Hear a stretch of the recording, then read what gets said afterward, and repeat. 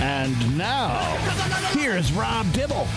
And then he cleared the second deck in his third at bat. Yeah, yeah, yeah, yeah. So yeah, yeah, Elly De La Cruz, he gets the last laugh, and so do the Cincinnati Reds. Nine to two was the final. But uh, let me explain. So Okay, at the okay, lower okay. levels, most hitters either have a thumb guard. Now they even make a guard that goes between your fingers, and it, and it, it takes away a lot of the shock um, when you get jammed and when you hit it off the end of the bat. Those are the things that reverberate and hurt your hands the most.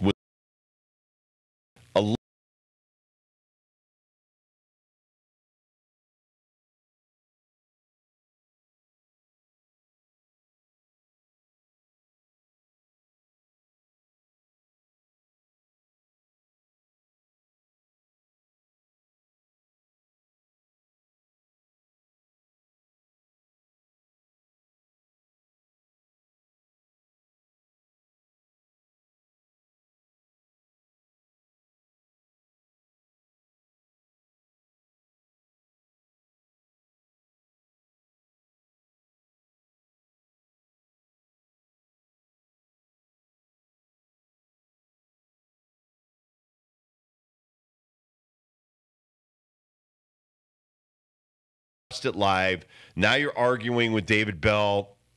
David's like, why are you interrupting this guy in the middle of a bat? You could have done this before the game, but you waited until the game started to check his bat when he's walking up to the plate.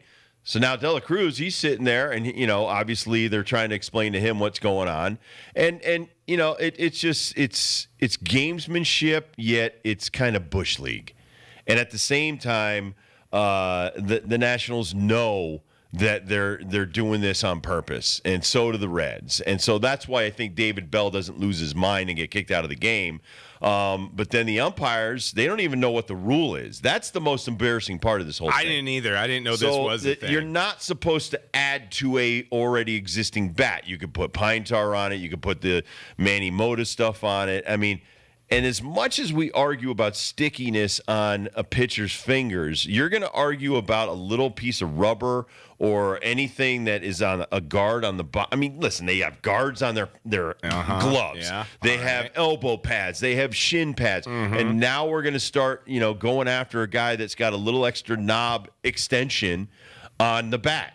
Well, I don't know, Dibs. Let me let me play a little uh, baseball investigator 101 for you. First of all, let me tell you why Mr. Martinez is a little sensitive about this topic. Go look at an at bat in at uh, 20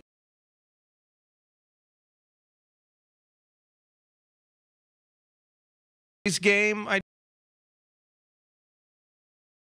things close.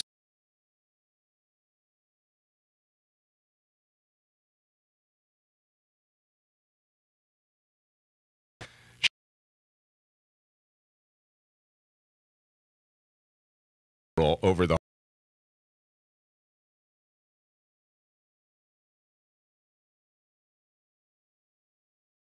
exist